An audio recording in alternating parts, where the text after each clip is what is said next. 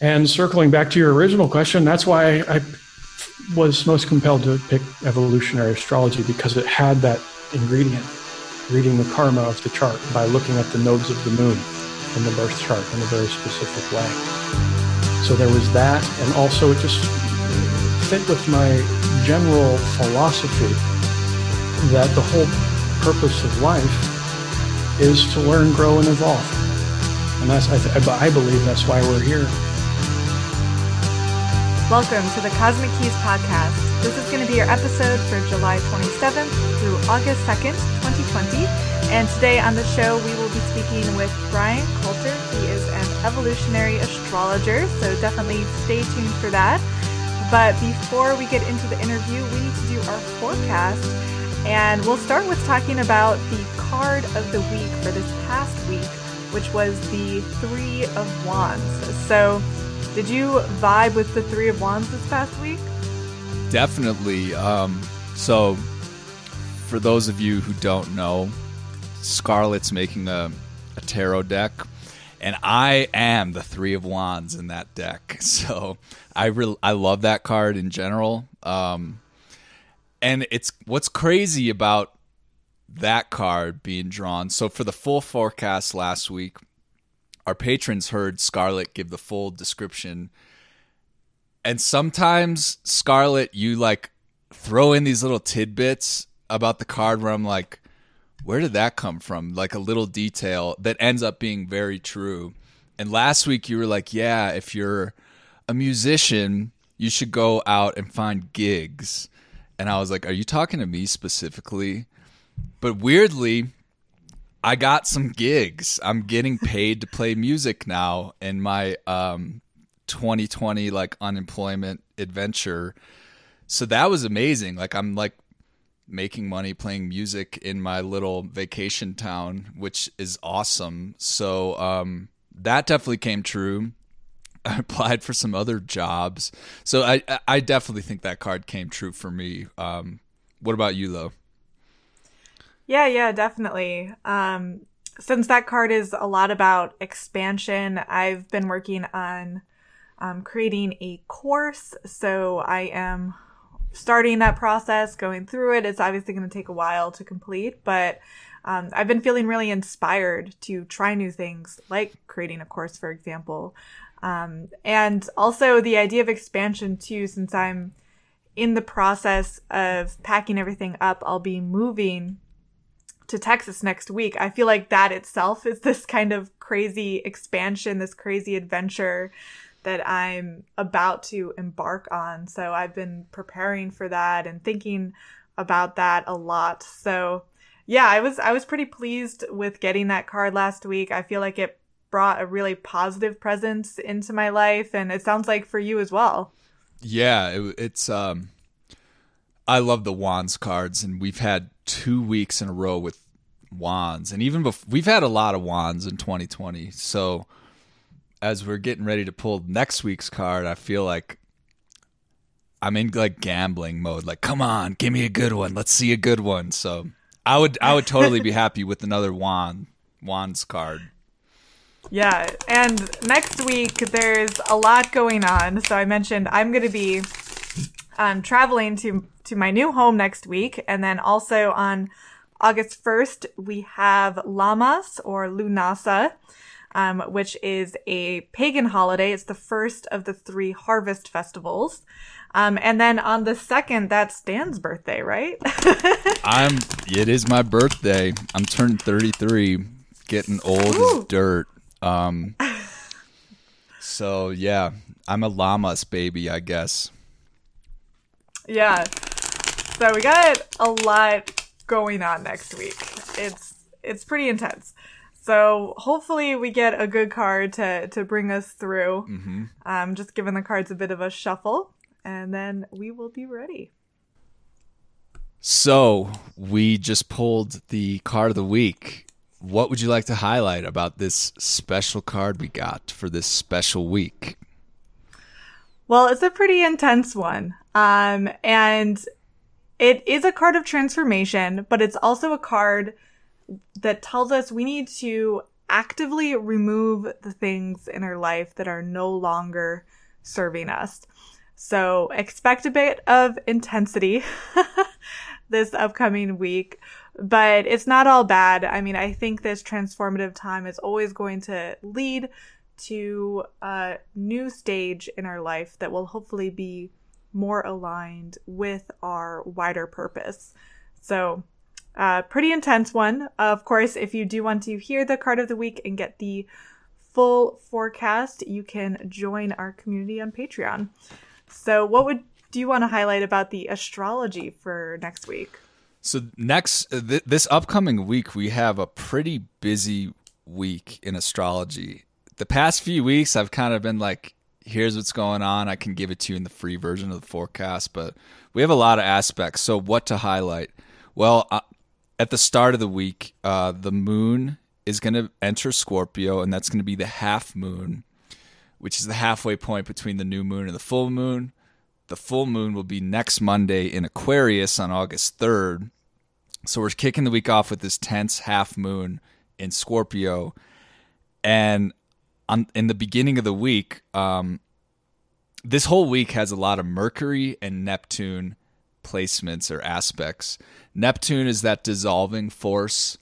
Um, the shadow side of it, as we talk about in this interview, is addiction, escapism, you know, tuning out of reality. And the positive side of it is reaching for higher spiritual ideals and, you know, connecting with the divine, merging with the divine. So with on Monday, I'll highlight that we have Jupiter sextile Neptune. So that is this is the second of three hits that's going to be occurring because Jupiter in Capricorn is retrograde at the moment.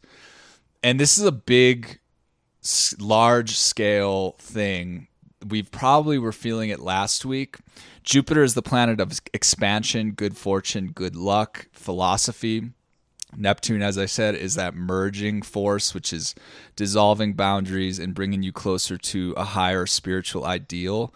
So this is going to be a like very spiritual week in terms of Jupiter sextiling Neptune, and we're going to be feeling that all through the week, probably into next week. We were probably feeling it last week, so this is a big chapter in the year, big section of 2020 is this outer planet aspect. And then at the same time, at the same day, Venus is going to make its third square to Neptune um, because Venus went retrograde in Gemini. And this is kind of re- really closing out that Venus retrograde in Gemini story. And with Venus square Neptune, this can make this can cause relationship fantasies and delusions. It's something to be careful for. If you fall in love with somebody on Monday, wait a couple days before you make any significant um, commitments, or because there's that tendency with Venus being your relationships squaring Neptune, which is this like fantasy planet. Um, just be careful that you don't misinterpret things or fall for something that's not actually real because Neptune can be very deceptive. There's a lot of other stuff happening this week, but um, if you want to hear it all, you're just going to have to join us on Patreon for five bucks a month. Um, you will support the show, get the full forecast with the full card of the week, plus episode extensions and a lot of other benefits. So to learn more, go to patreon.com slash cosmic keys. And stay tuned for our interview coming up with Bryan Colter, who is an evolutionary astrologer.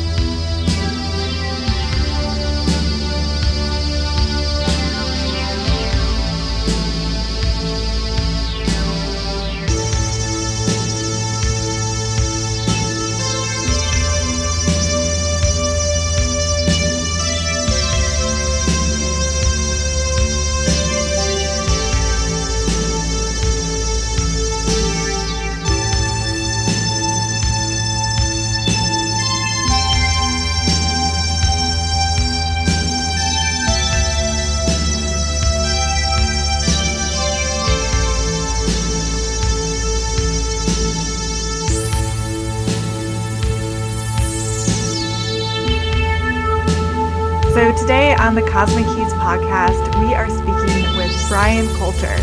Bryan is an astrologer focusing in on evolutionary astrology. So we're really excited to have him on our show today. So Bryan, how are you doing? I'm doing quite well. Thanks for having me. I'm very excited about this.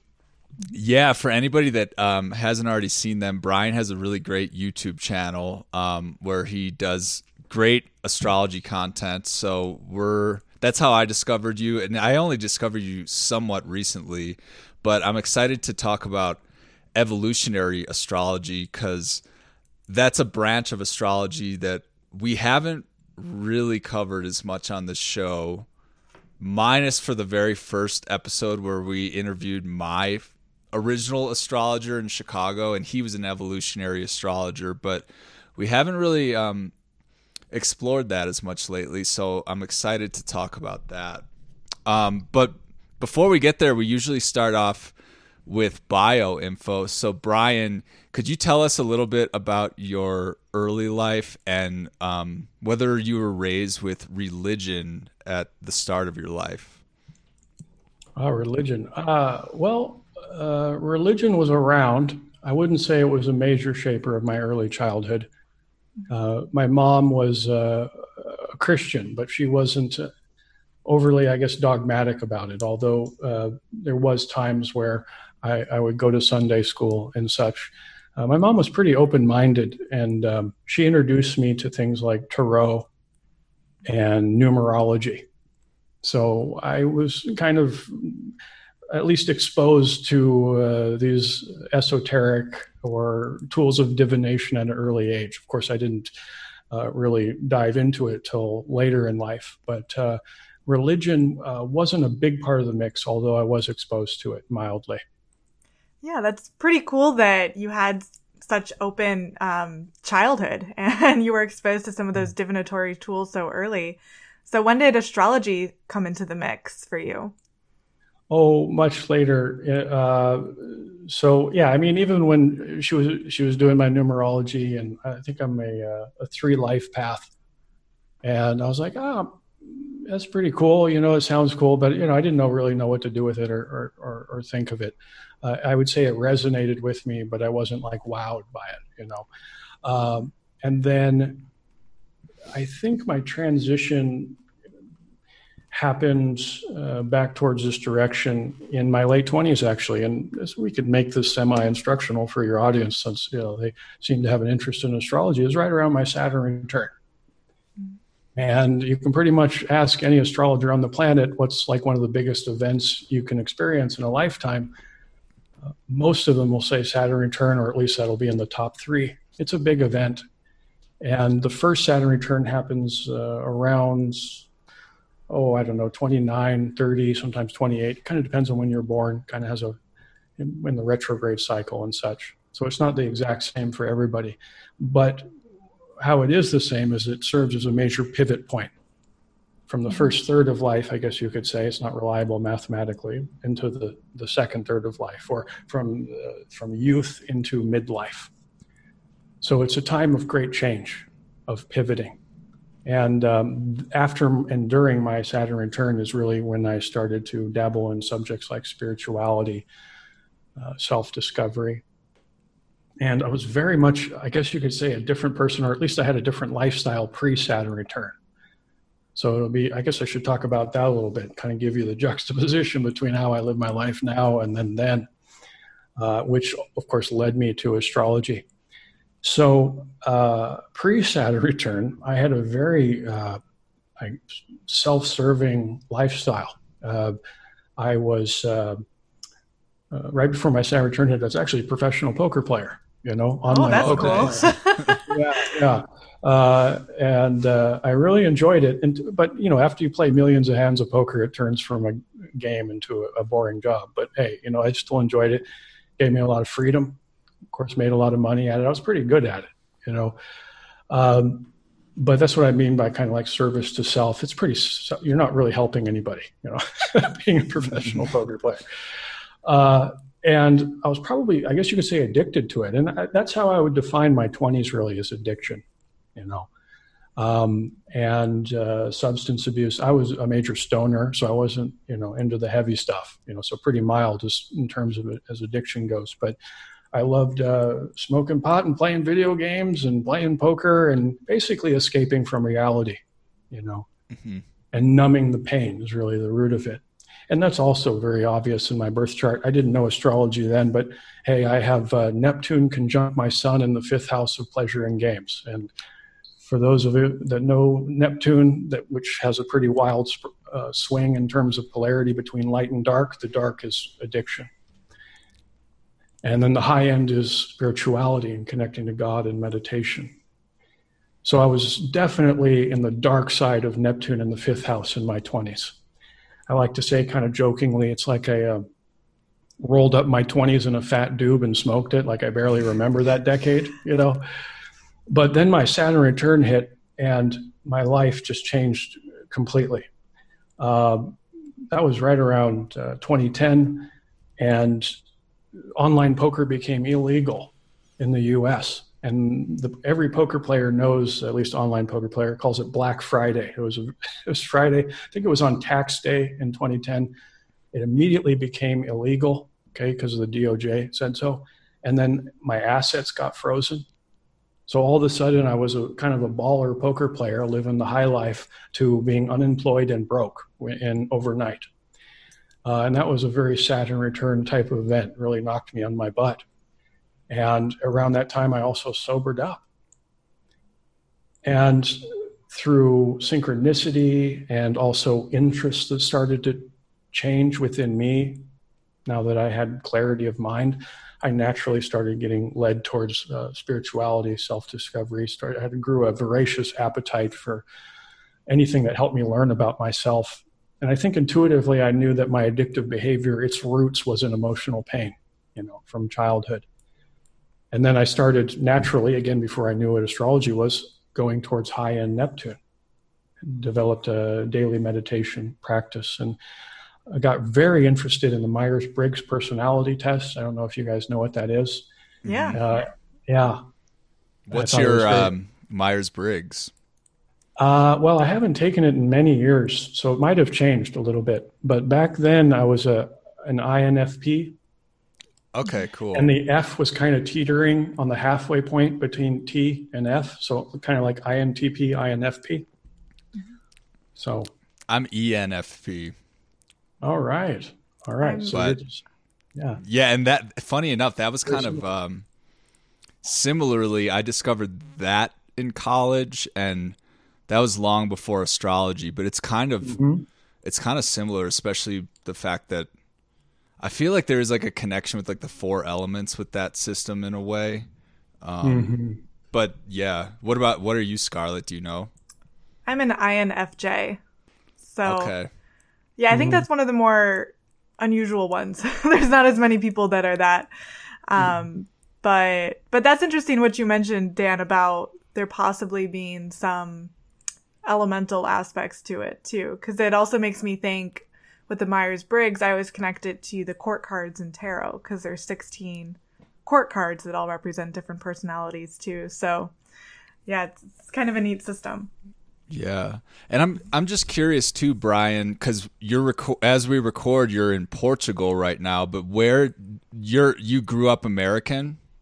Mm-hmm. Like what part yeah. of the country were you raised in? Uh, I was born in Seattle, but I was raised primarily in uh, Car- in uh, Carmel, California, which is Central Coast. California. Okay, nice. Oh, wow, I've heard that area is beautiful. Oh, it's gorgeous. Mm-hmm. Yeah, I'm very blessed to live in that area. Yeah. So, what took you to Portugal then? Uh, well, I got married. Yeah, my oh. wife's Portuguese, uh, nice. and I actually, yeah, yeah, I met her uh, online uh, when I was still in California. We were taking an online class together, and actually, the class was kind of a hybrid. It was a local class where I was living in California, but then the teacher uploaded it to the net, and then there was this group of students all over the world, and it was a class in uh, Taoist mysticism. Yeah, mm-hmm. and uh, so there's a common interest there and uh, the rest is history. You know, fell in love. Here I am.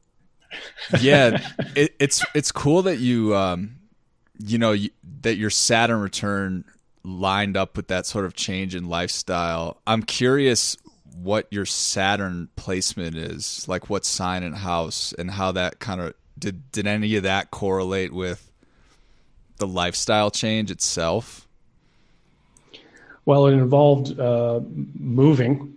You know, my uh-huh. my Saturn's in the fourth house of home. Okay. But there was this sense of like getting away from family, separation from family, not in an extreme sense, um, but this feeling of getting away from home. Mm-hmm. You know, finding some level of separation from family and entering into the midlife cycle. That's what the Saturn is from youth to midlife. Okay. So becoming less reliant on them and more self reliant uh, and just going my own way, going my own path. It's in the sign of Libra, uh, right okay, there on the nadir at the beginning of my fourth house. It's also next to Pluto. And that was a very Plutonian time for me in terms of um, introspection, like fierce introspection and doing shadow work. Mm-hmm. Yeah, we well it's yeah, with the so you're Pluto and Libra generation then, so um it's it's interesting uh how the Saturn return kind of I mean it it it it seems like spirituality fits into that time period often. Like the two of us Scarlet and I met during both of our Saturn returns. And um for me it's when it's when astrology also like really became serious. And um I'm I'm about to turn 33 and when I look back at those years I'm sort of like yeah that set all the foundation for what I'm like really sort of arriving at now like astrology is way more of a part of my life and like doing creative artistic things that the Saturn return really brought that to the front forefront for me as well so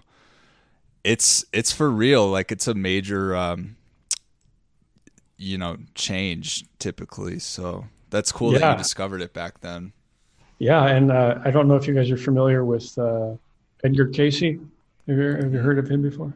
Yeah, the the, the so-called uh, sleeping prophet from the 20th century. And he started off as a medical intuitive. Um, I think he had something like a documented like 98 percent accuracy in terms of helping people to heal. Wow. And of course, people that found him was probably a lot of them was the last resort, you know, after they'd been through the ringer of, of uh, you know, traditional medicine. And he, and uh, he would help people heal even from deadly illnesses. But then later in life, he transitioned more to like um, when he was in deep trance, more spiritual and philosophical questions. And there was a variety of times where he was asked about astrology and the meanings of the planets and such. And he called Saturn the bringer of change. Mm-hmm. And yeah, that's the way I see the Saturn turn mainly is a major course correction. You know, it's like whatever is not serving you in that in your life at that point, which usually is a byproduct of what you've manifested in your cycle of the youth, will start to fall by the wayside or leave your life. And what is more in alignment with your optimal trajectory as you head into your midlife starts to show up in your life. So it's out with the old, in with the new kind of changes, usually a variety of both. And, you know, the universe or God or whatever you want to call it is grabbing you by the ears and uh, gently or sometimes not so gently, you know, showing you the way of the direction you're meant to head for through for this uh, this midlife cycle. So yeah. advice for it is to go with the flow, you know. Just yeah, you're not going to beat Saturn.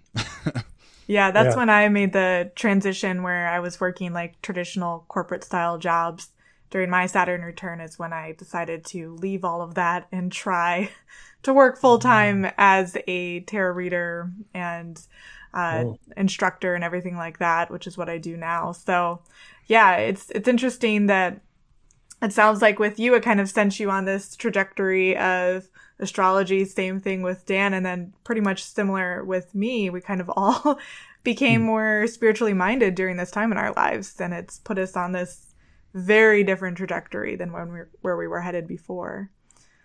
Um, yeah. yeah, certainly sent me on a spiritual direction. I didn't find astrology till a few years later, but um, you know, that's when I started to get interested in the Myers Briggs, which, as you said, is very interesting, uh, uh, similar. And I've been interested in, in uh, like Dan, trying to f- think about the connection between the two. Of course, don't have the time really, but it's always been a fascination of mine.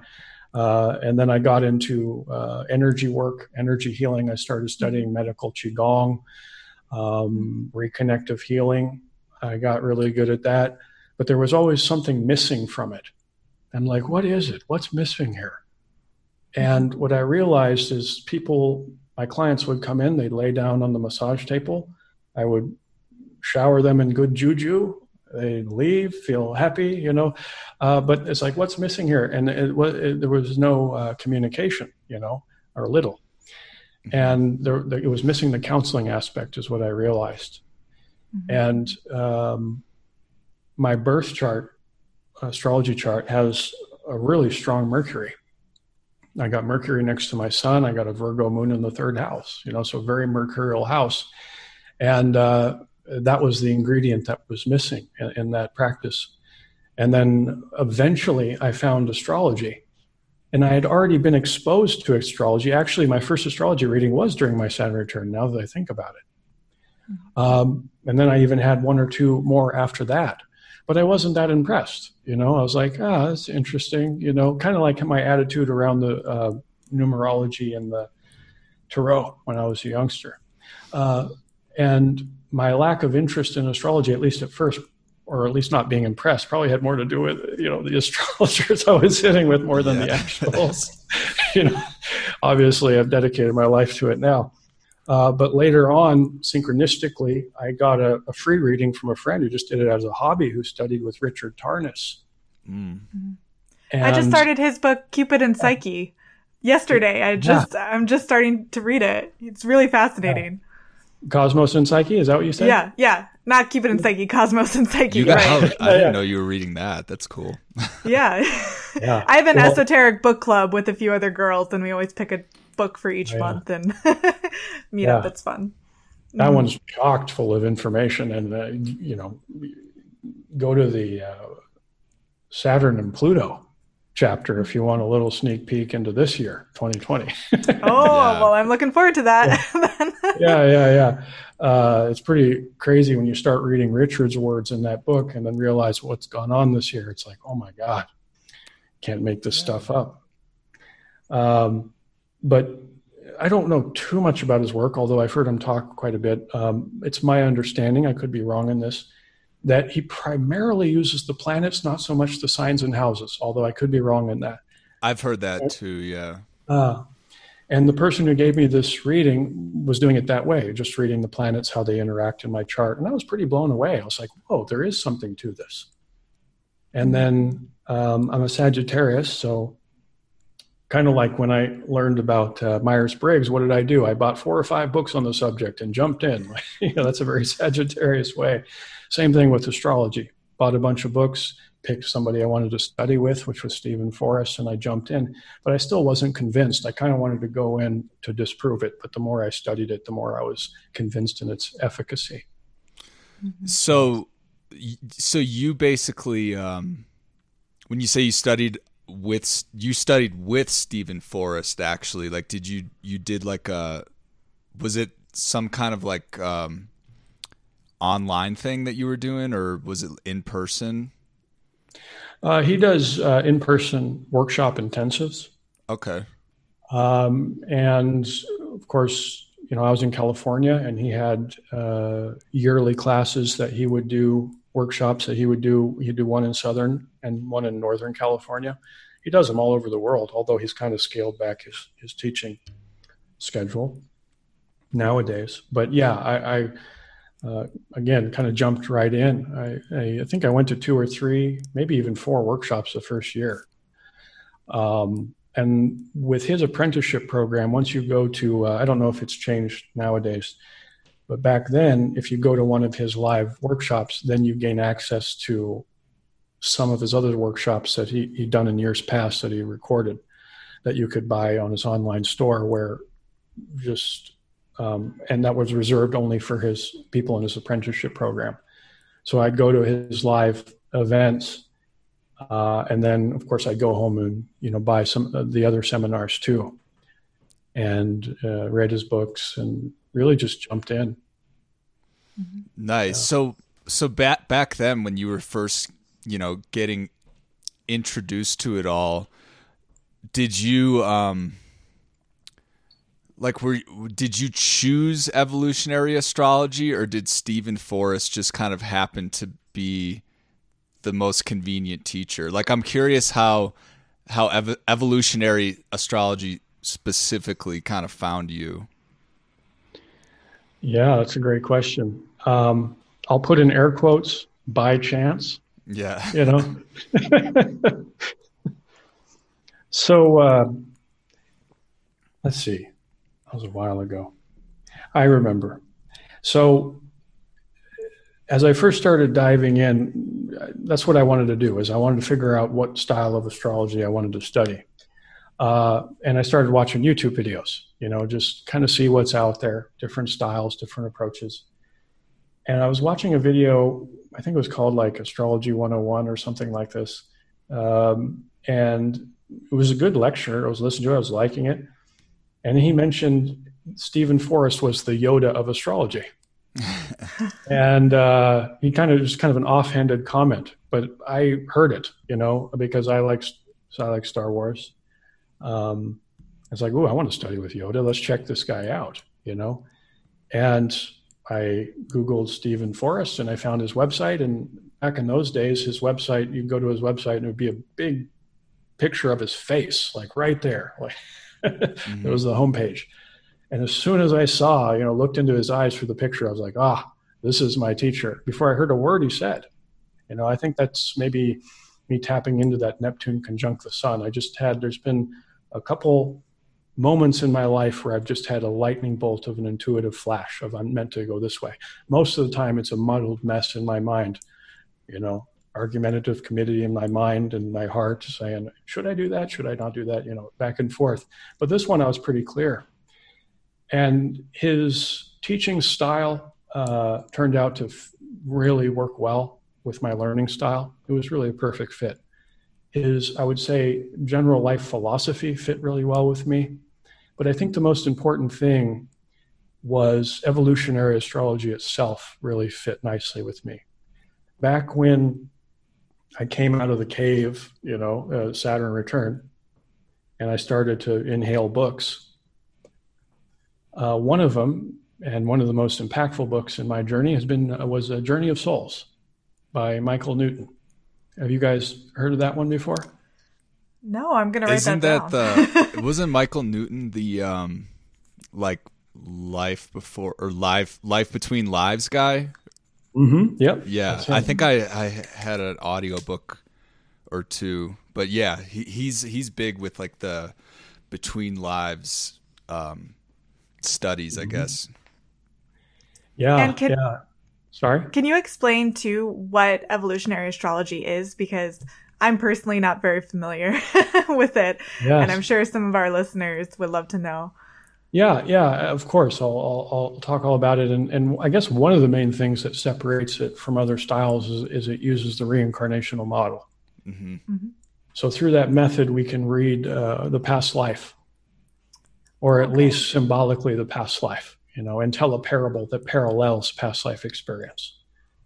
Um, and that's kind of why I introduced uh, the Journey of Souls, because that introduced me to the idea of reincarnation as a possibility before that, I didn't really understand, didn't hang my hat on a belief system. I guess I would say I was a pretty open ended agnostic.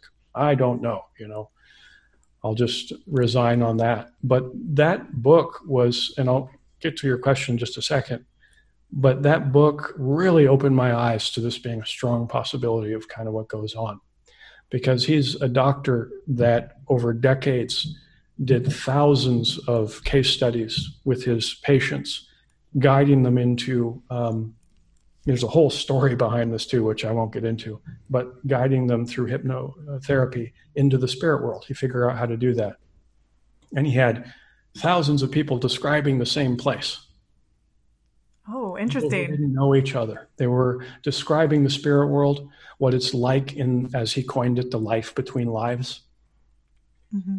And to me, that was compelling evidence for reincarnation. And that's where I really adopted that belief system, which, of course, is a common belief system you'll find in many places all over the world. That's one huge mountain of data that points to that. Another huge mountain would be near death experiences. Hundreds yeah. of thousands of people, yeah, talking about We've that. talked about that on on our show before too. I'm really fascinated by that. Yeah. Um, when these people had these common um, experiences of the space between lives, what were some of the things they described it as that was common?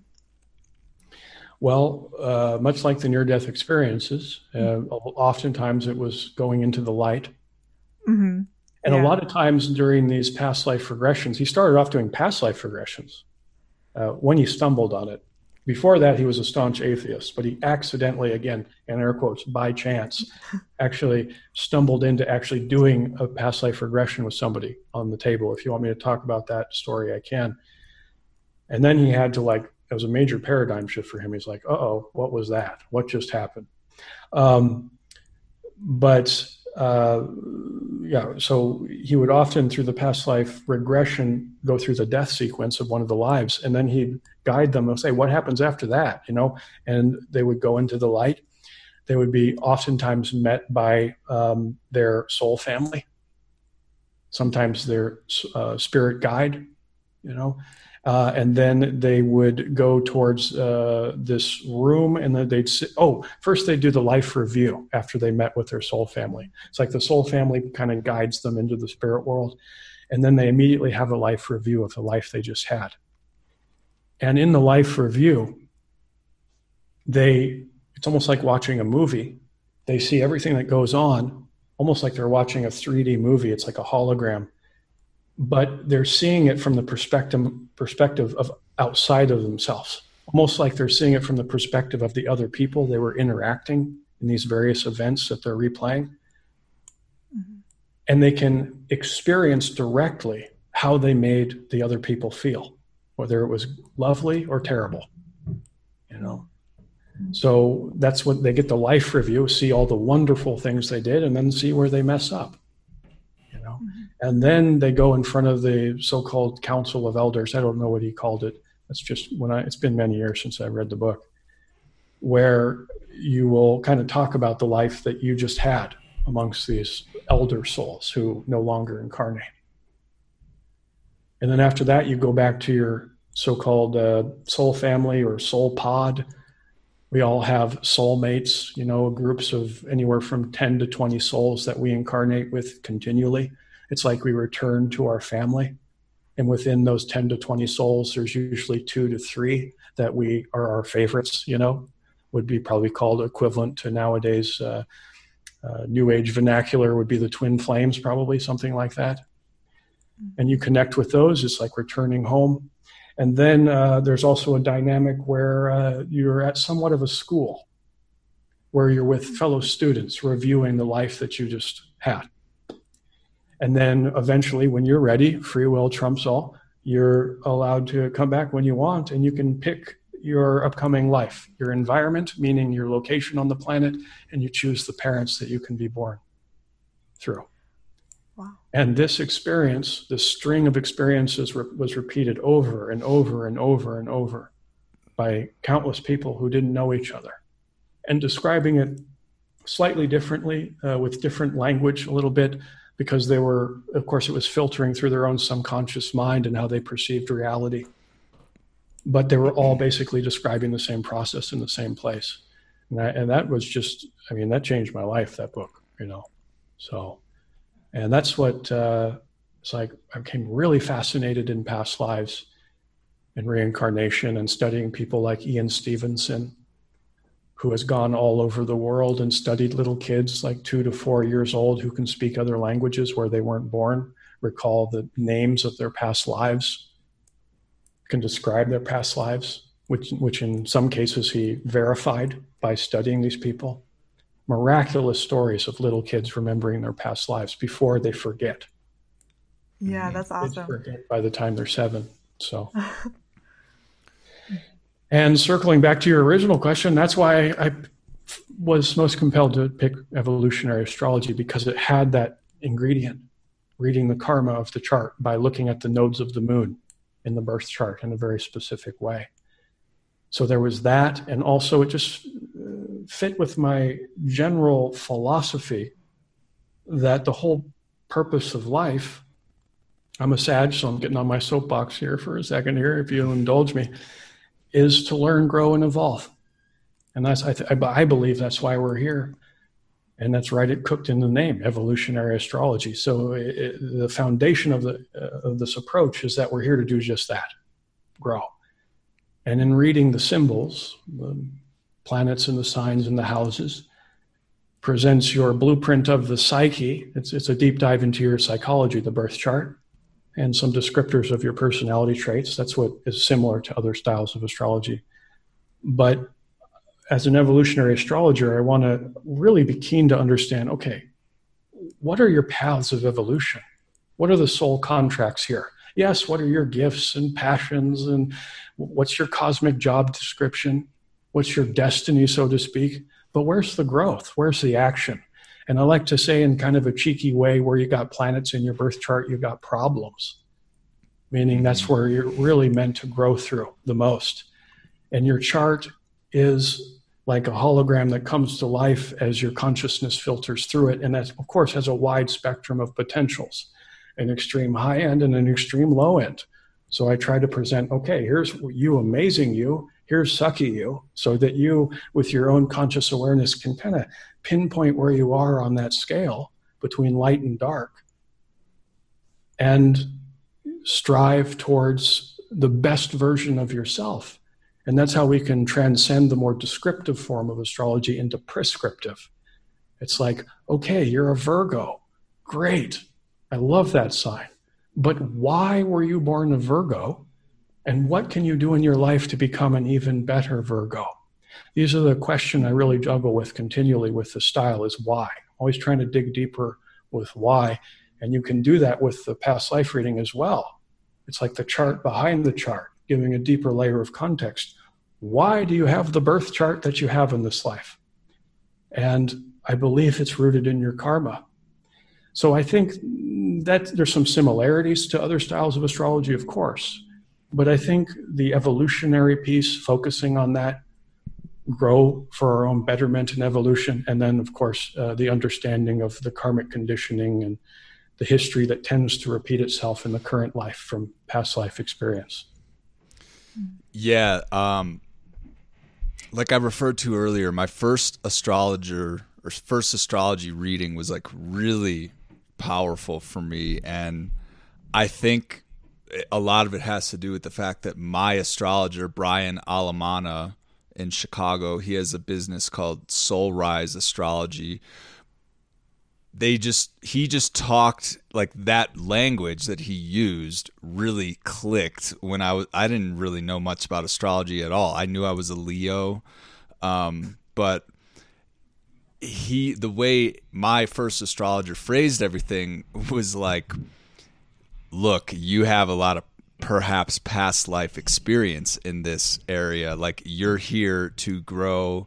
in this incarnation and i had sort of sort of similar to you, like kind of new agey concepts in my head at the time, even though I wasn't mm-hmm. an expert in, you know, the zodiac or the planets. But that was sort of like what got me hooked in a way was like, this makes sense. Like, I feel like it makes sense that I've been a soul on a path.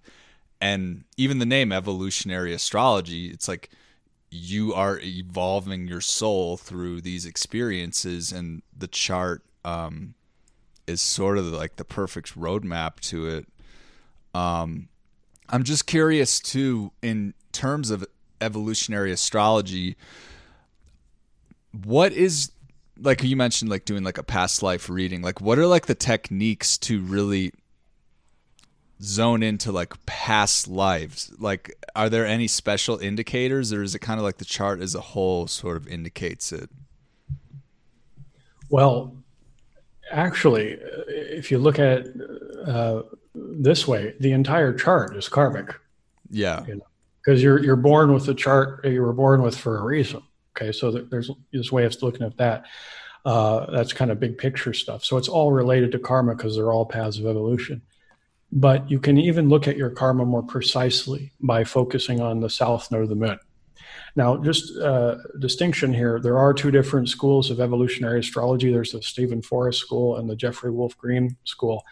And uh, they're two different, they, the, the core philosophy of the of, of their of their styles is the same to evolve and they actually both created it at the same time separate from each other back in you know the 70s or 80s uh, and they even used the same name and then they said hey wait you know you're stealing my name here and they got together and they uh, you know had an arm wrestle over it you know uh, i'm being silly obviously but well, when they started talking sorry was uh, sorry to interrupt wasn't jeffrey wolf green sort of channeling the information uh, I don't know. I okay, don't know yeah. enough about his his school. Uh, I've heard him speak, and he was like a genius.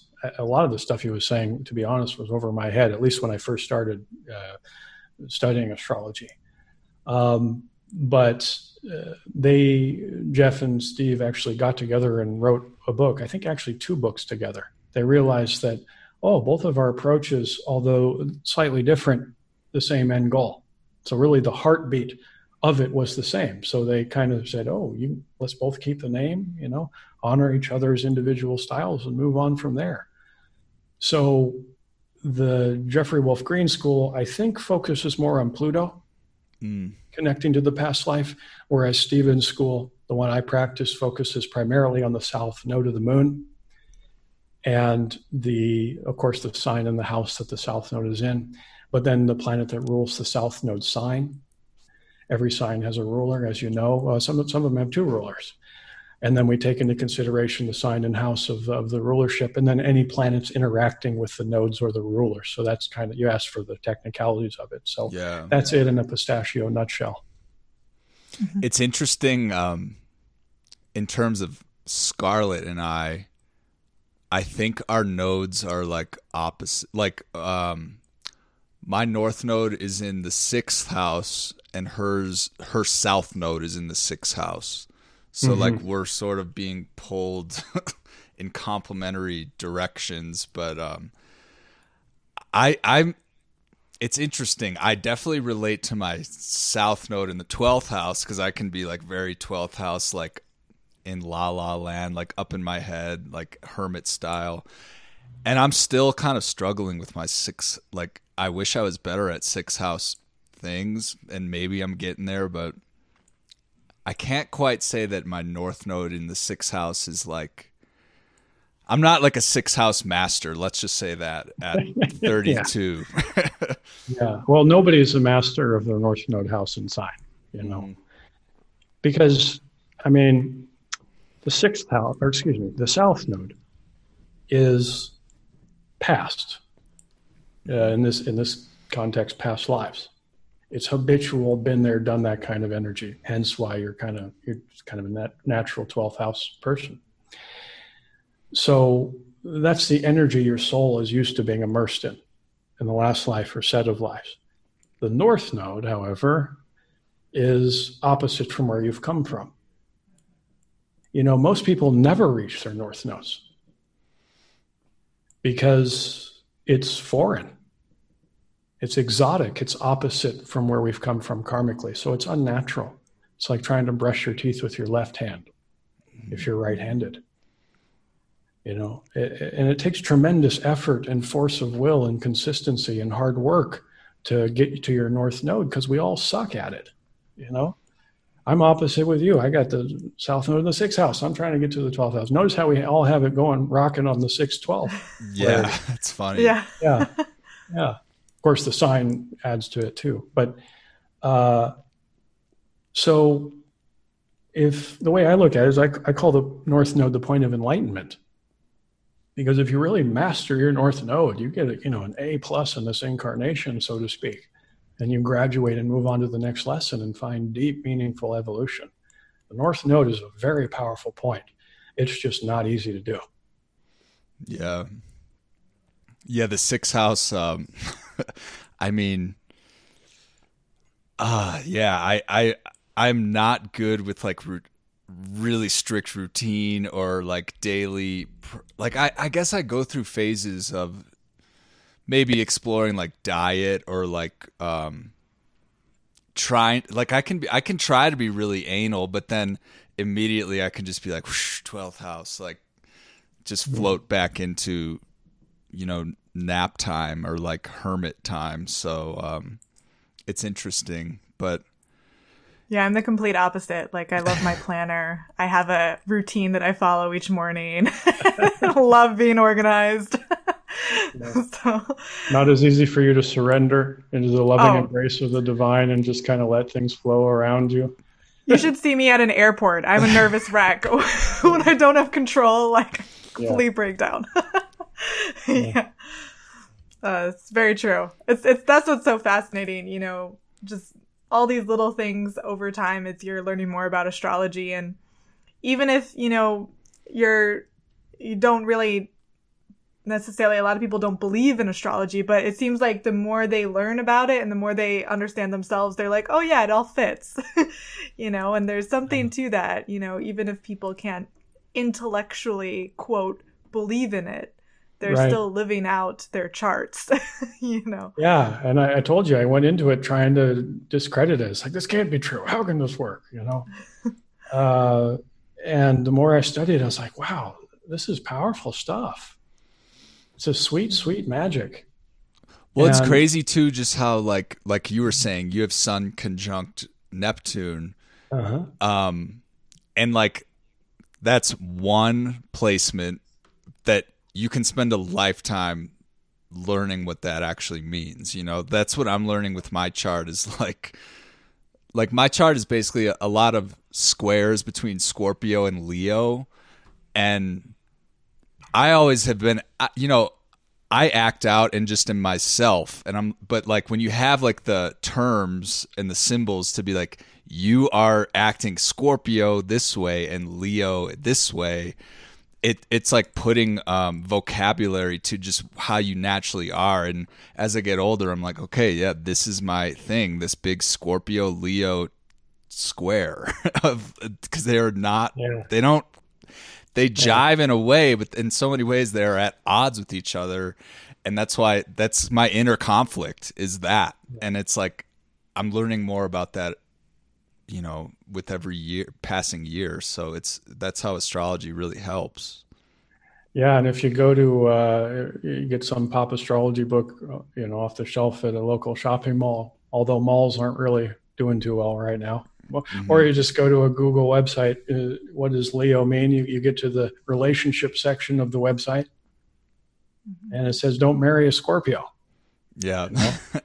and, and, then on the other end uh, you know, get to the Scorpio, it's like don't marry a Leo. And here we find this marriage built into you.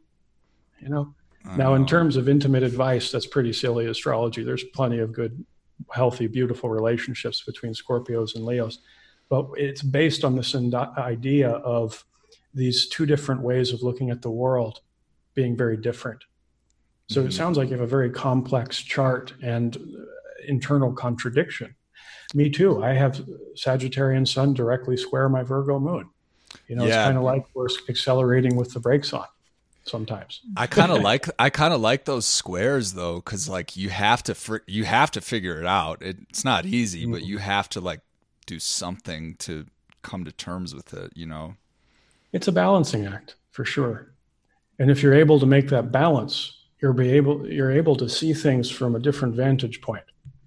You know, because you have multiple perspectives operating within you simultaneously. And if you can feed that Leo side of you, keep it in balance and happy, feed that Scorpio side of you, keep it in balance and happy, kind of like a teeter totter, then you're able to see life pretty clearly. And mm-hmm. with all the complexities and ironies and ambiguities of life, that's a great tool to have, you know. But squares can be challenging to find the integration of the square and the balance point through the complexity. Yeah. And in term just in terms of um, evolutionary astrology in general, so from your school, like the outer planets play a really big role, right? Mm-hmm. kind of in um, like could you kind of go into how are the outer planets viewed more diff- like from like a karmic perspective in this tradition uh from a karmic perspective? Or just like uh, in general like what sort of sets them apart in evolutionary astrology? Well first of all disclaimer here. I haven't studied other forms of astrology. You know i kind mm-hmm. of hang my hat on one and i was very much a purist about it. Uh, now i'm um, less dogmatic about it, but I'm at a point where I just don't have the time to study other systems, even though I have the interest. Um, but uh, they're very similar in a lot of ways. Of course, I look at the analysis of these planets uh, a little differently depending on if I'm looking at the someone's birth chart or if I'm looking at transits and progressions. Like for progressions, for example, I use the inner planets you know, the personal planets. But for transits, I use the slower moving planets, the outer planets. So that's a little different from most. You know, the combination of uh, progressions and transits and how we view the planets. Uh, if you could make the question a little bit more specific, and I could, you know, give you my my take on them. Well, yeah, like I know, like you mentioned, um, Pluto being more important in um, Jeffrey Jeffrey Wolf Green's yeah version of because I have Pluto conjunct Moon, conjunct the ascendant, square the Sun. So Pluto ah. is here with me for oh, life. Yeah. So I'm curious. Just like let's say Pluto, for example. What does Pluto yeah. represent? You're Mister Pluto. Unfortunately, absolutely. yeah. so you're the god of hell is what I like to say. Yeah, that's a. so yeah, Pluto archetypally, one of the monikers it has is the the god of hell, which kind of a you know can be said in a foreboding tone. Uh, you know, and if you ask a fundamentalist minister somewhere in the middle of the country, what does hell mean? I'm sure he'd be happy to tell you. You know, it's hot, it's under the ground, you don't want to go there. You know, it, yeah, eternal damnation. Uh, from the Pluto evolutionary astrology perspective, we look at that word hell and not shy away from it and say it uh, serves as a metaphor for our inner hells that we create. We can create hells or paradises. Pluto's subject matter is the hell world. It's all our hurts, our traumas, our pains that we bury in the unconscious mind, all the stinkers of life. Now, what it means to be born so Plutonian, like like yourself, is you're deep in psychological. Basically, you have the chart of a psychological creature. You don't look at people, but into people. You know, you're a shaman. You know, and uh, the archetypal field around the shaman is to transmute the pain of the tribe into love and light. So it's, there's a strong healing component about it because ultimately it's about wounding but the high high destiny or evolutionary purpose of being somebody with such a strong Pluto is to help people heal those wounds. And you have psychological X-ray goggles, you know. So you have the mind of a really good psychologist, the mind of a really good private detective. You know, not career predictions, just illustrations of how you think. You want to look deeply into things, especially subjects that are psychologically charged. Now, it's an enormous intensity of being. Uh, so, can you handle it? That's kind of the first question. And if you can, you become a wise and precious uh, person in your community, you know, because you're able to give incredibly sensitive, incisive insights into other people and their journeys because we all have blinders. You know, we all have stuff we'd rather not think about. So, denial, compartmentalization, rationalization, they're tremendous comforts in this world. And they're forbidden to you by your own very nature in this lifetime, but you're helping people to look beyond that. And that can be kind of a tough path, you know, because uh, on one hand, you can have people that uh, uh, can't get away from you fast enough, you know, because if they have something they're trying to hide inside themselves, yeah, like there's they, some of those.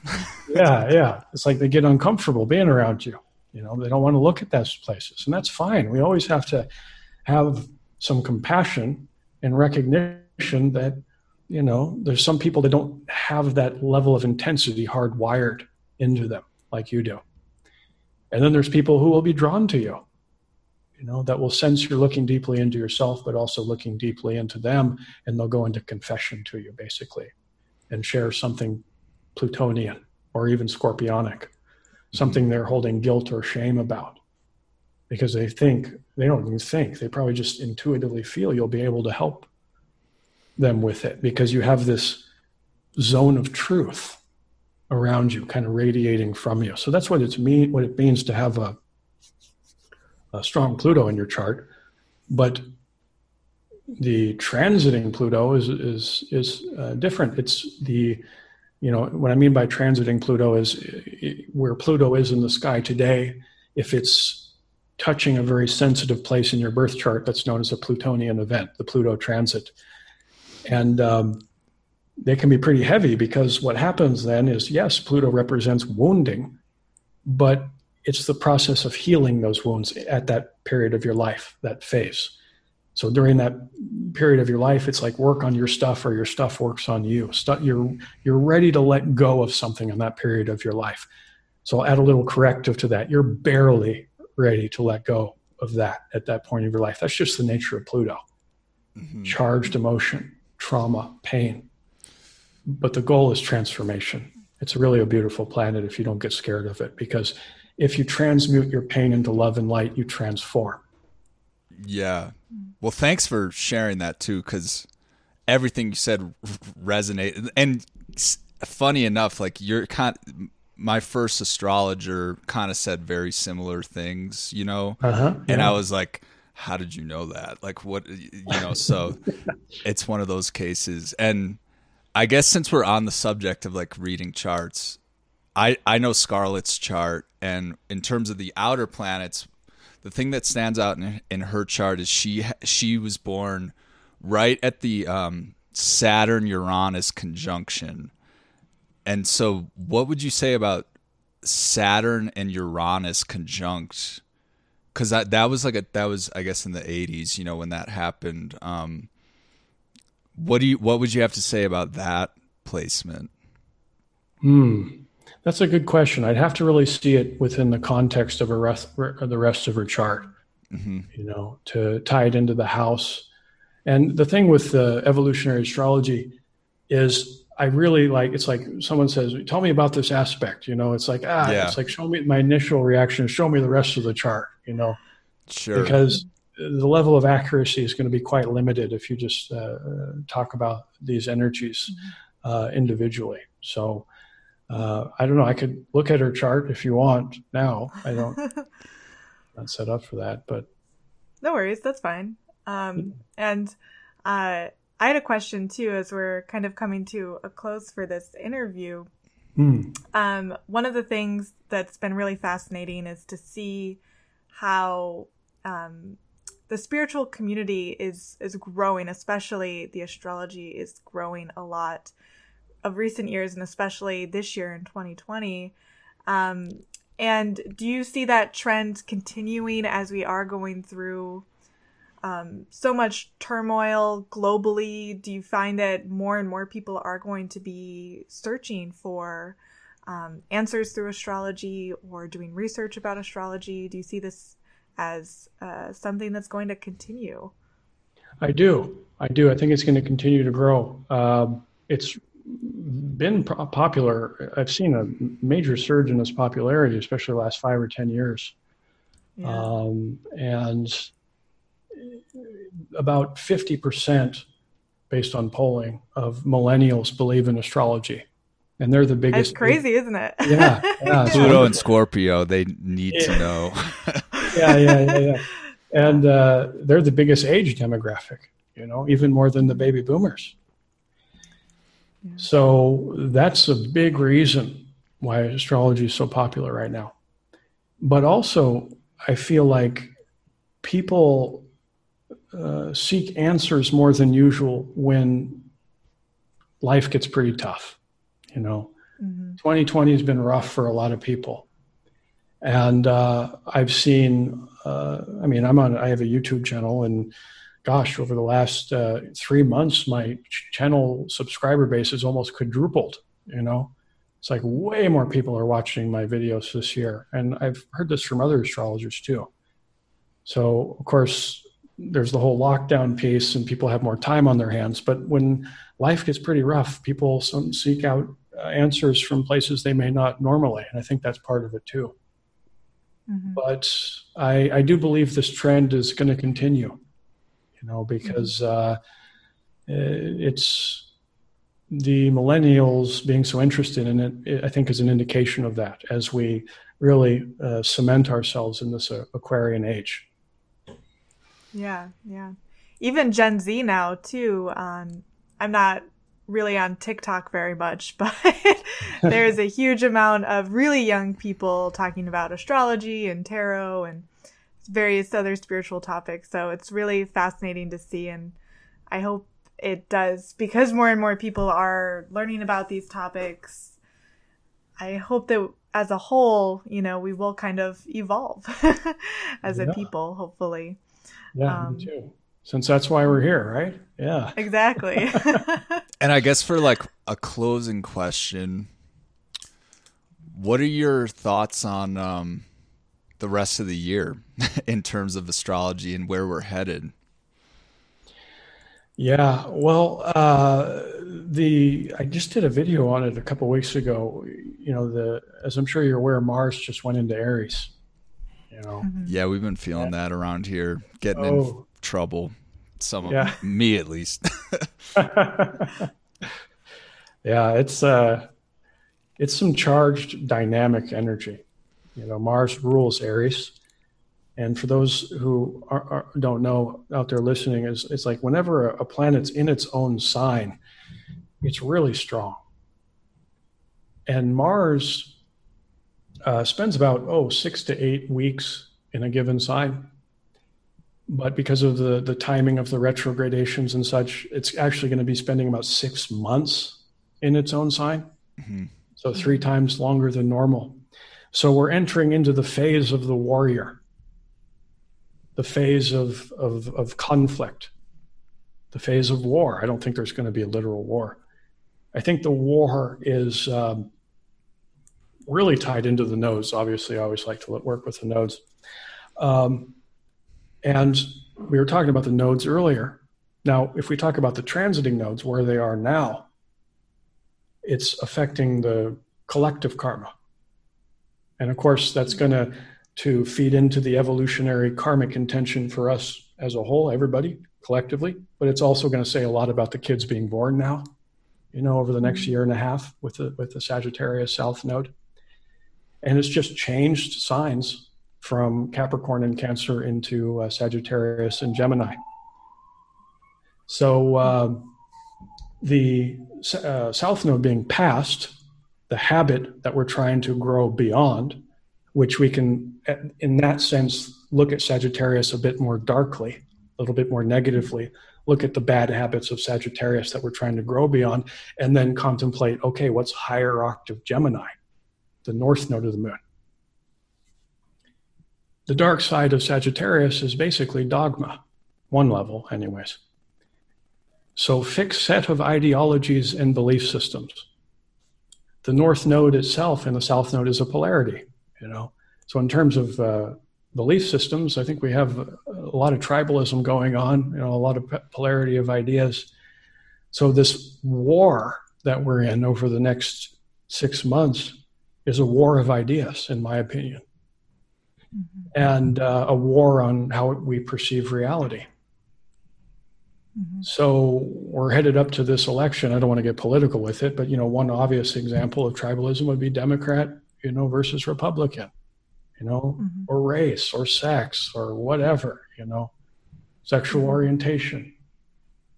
And the we look at Gemini, it's the sign of information. So through the law of synchronicity, we will be attracting to ourselves data in, fresh in, in information that challenges our beliefs, our fixed set of ideologies you know, Sagittarius is the sign of religion. And we can be religious about cynicism or materialism. You know, we can make a God out of money or science or atheism or Catholicism or Christianity or your, your political affiliation. You know. So we're I'm looking at this next really year and a half, but especially the next six months with this charged Mars of truth bombs, truth bombs. Mm-hmm. And I think a lot of people are going to get uh, shaken pretty violently out of their belief systems having to look at those some of them won't you know some of them will stubbornly stay attached to them but we're trying to grow towards high in gemini which is yes it's the sign of information communication journalism on one level which is a major subject nowadays but really the core meaning of gemini it's the sign of perception so, the karmic medicine, if you will, for us right now is to perceive reality more clearly. Mm. And I think some of those truth bombs, the war of ideas, will provide some of that. But also, ramping up will be this uh, war on our perception, how we perceive reality. And that's something that the power structures of the world have leveraged to control us, control how we perceive reality. You know, that's their greatest weapon. And that's going to ramp up during this period of war, but also people getting sick of it, I believe. So it's going to get pretty, uh, pretty charged. Um, not trying to scare people. There's a high evolutionary intention, which is becoming braver, becoming stronger. You know, that's really the, the, the path of the warrior is to face your fears, to evoke courage. Mm-hmm. So everybody's going to be feeling a little bit more martial for those folks out there who have more martial charts or more fiery charts, more action oriented charts, they might want to scale it back a little bit, you know? That's me. yeah. you know, because they don't need more chili powder in their stew necessarily. And uh, maybe be aware of perhaps some self righteousness that comes through their fervent ideas. If you tend to be a little bit more passive, a little bit more meek, you know, a little bit um, more into, I mean, you said you were an ENFJ. That kind of makes sense. The extroverted, and now we're looking at the introverted. So the more introverted folks, maybe you need a little more chili powder in your stew over the next six months. You know, be a little bit more proactive with what you with what you believe. But the goal is always, how can I perceive reality more clearly here over the next year and a half, uh, as we're in these nodes, uh, but do it in a more evolved way you know, where we can be assertive but not overly aggressive and leverage the right use of force instead of just causing chaos, you know. That, that's yeah. my general take on it. No, I, that was really eloquent, and I like because I, I mean, we even we've talked about the the extended Mars and Aries thing happening, but really, when you bring in the nodes, it makes a lot of sense that dogma in Sagittarius versus like facts in um, yeah. Gemini because yeah. there is this is kind of a war for how we perceive things and um, I I'm I think the dogma is sort of showing its ugly face and if, mm-hmm. if we're in the age of information and and I feel like censorship is a, a, part of that as well. I, I, don't want things to be censored out because I would just want the truth sort of laid out, you know, right there. But that was a really great, um, great way to articulate it as we close this episode out. So thanks a lot for coming on the show today, Bryan, and for our listeners. Um, who are interested in learning more about your work, where can they find out more about your work? Uh, well, I have a YouTube channel, uh, Bryan Colter Astrology. Uh, Bryan spelled with a Y, you know, and then Colter, C O L T E R. You can find me there, uh, bryancolter.com. You know, basically uh, just my name, and just plug that into Google, you'll find me. So, uh, yeah, I post uh, bi weekly YouTube videos every new moon and full moon. And at the end of each of my videos, I also do a guided meditation where we we talk about the astrology energy of the next couple weeks, and then we apply that to a guided meditation uh, to work with it more uh, directly within our, our consciousness. So, uh, yeah, if you like meditating or evolutionary astrology, come join me. Yeah, I definitely recommend Bryan's videos, and uh, including the the meditation part is kind of my favorite part because um, it's it's different than what. Well, it's it's it's like visualizations, and you you do a good job. You do like the binaural beats as well. So um, if you're looking to like learn about astrology, and then at the end of the video do something proactive like a guided meditation, definitely check out Bryan's videos. Yeah. Well, it was really wonderful speaking with you today, and I feel like I've personally learned a lot about evolutionary astrology. Um, so this has been a really fun chat. Thanks so much. Uh, thank you, Dan. Thank you, Scarlet. It's been a pleasure. Yeah, thanks a lot, Brian.